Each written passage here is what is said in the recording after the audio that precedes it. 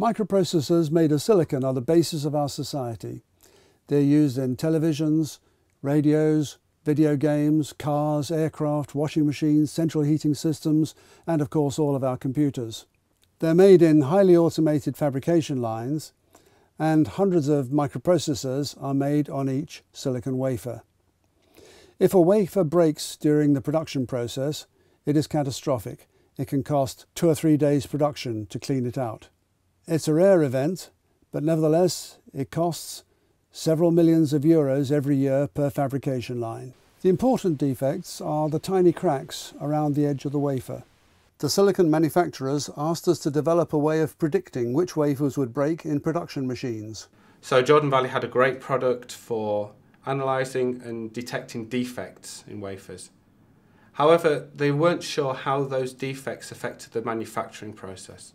The BedeScan products uh, use X-ray and we do X-ray diffraction imaging uh, uh, with, with this equipment. With that we are doing uh, pictures of the inside of the wafers and measuring the defects that uh, are on those uh silicon wafers.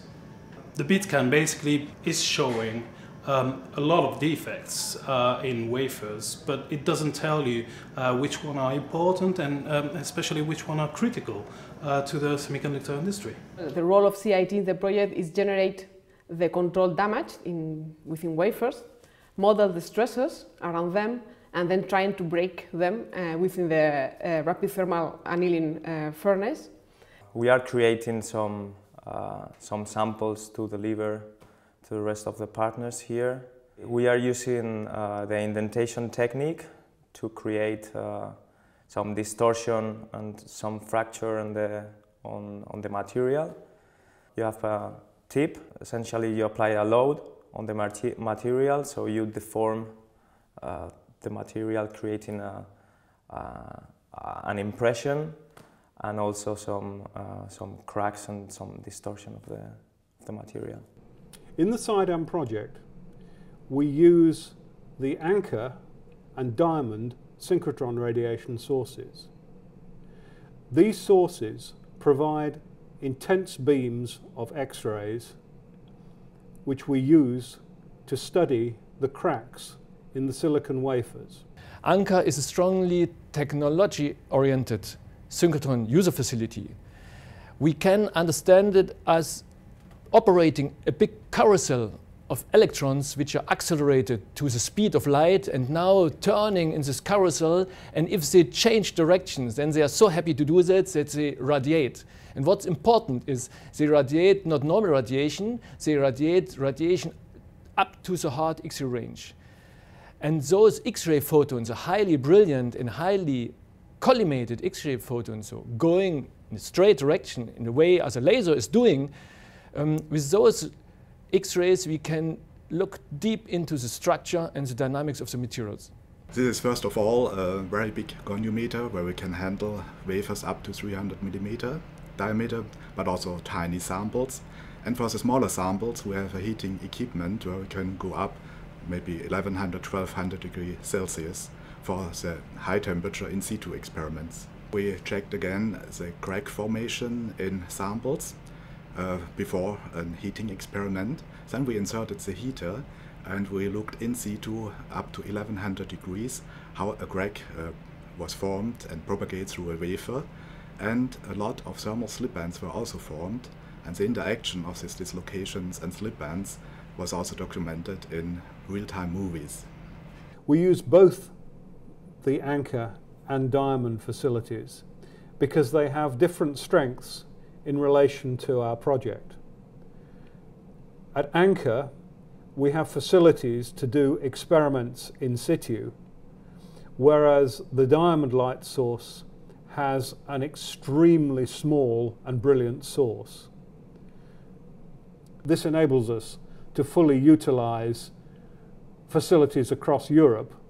So uh, within this project, uh, we have used uh, finite element modeling in two ways. One was to calculate the stresses around cracks and see uh, how a crack uh, initiates around an indentation, how it evolves. And a second big um, work that has been done with finite elements deal with the furnace. So we were modeling the furnace, we were modeling the wafer inside the furnace and the temperatures within the wafer during uh, a heat treatment. So from these temperatures, we could calculate the forces, forces that appear within the wafer during the, the heat treatment. And we can see whether a defect, a crack, will grow or not during the treatment. So like this, we are able to predict fracture. But we have to be careful because we have always to check models against experiments. The contribution that we make to the SIDAM project is, is, is twofold. We assist with the X-ray diffraction imaging experiments, uh, both performing the experiments in the synchrotron and with a lot of post-processing where we do uh, three-dimensional rendering of that data. So essentially uh, we produce really fancy 3D images, uh, very much like your X-ray CAT scan data. But the other thing we do right here in one of our laboratories in DCU is we carry out what are called um, micro Raman spectroscopy measurements. We can use our data to back up the data of our colleagues over at the synchrotron sources because they're doing direct, in a sense, imaging of what's going on inside our silicon. Our silicon, of course, has been deliberately damaged. We want ask the question, is that region around these damaged indents under compression or tension? Raman spectroscopists like myself go, aha, we can answer that question for you and we can do it non-destructively. We can measure that stress state right up near the surface of the sample or quite deep down into the sample. By the end of this run, we will have studied a large number of wafers with cracks arising from the handling damage. These will now be taken back to San Sebastian in Spain, where they will be rapidly thermally annealed, and we will see how many of the cracks propagate when they are thermally processed in this way. Our business, in fact, is to break things. And we are very happy when we break things, and the, the goal of breaking things is to avoid them breaking in real world. So that's what we do. Nothing is so practical as a good theory that has been tested by experiment. So the final stage of the testing is to introduce a crack that we believe will be dangerous subject it to a rapid thermal anneal and see if it breaks. The modelling of the furnace itself shows that the outside of the wafer heats and cools more rapidly than the inside. And cracks can form in the red area, starting from the edge and running through to the boundary between the red and blue area. So we can now predict from the original X-ray image whether a wafer is likely to shatter during a certain thermal treatment. It's important to Intel to, uh, to be able to maintain the pace of Moore's law. And because of that, we need to bring in new materials into our manufacturing processes. We need to bring in new process technologies. We need to bring in new ways of measuring what we do in the factory. Intel doesn't have all of the capability itself. It needs to uh, collaborate with uh, research organizations around the world, academic institutions. And across Europe, there are some great people that are able to help us in this quest. Therefore, working in Europe enables Intel to strike relationships with some really good technologists and people who are the best at what they do in the business. The main outcome of the project is that we've developed the QCRT instrument, which performs a subset of the X-ray diffraction imaging measurements that the BedeScan will perform. The tool that will identify the defects that are required, and also the software to automate this process. And the special feature of this project is the industrial advisory panel that we've assembled from prominent semiconductor industries in Europe.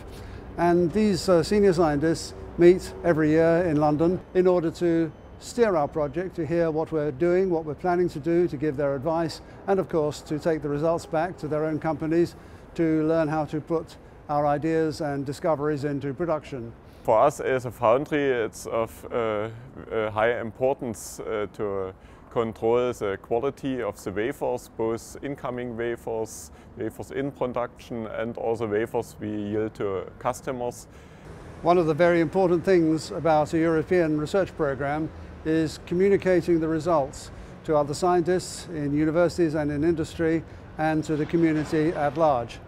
The Nanotechnology Knowledge Transfer Network is a network which actually does a lot of dissemination of information. So one of the dissemination methods for this particular project would be via our particular network.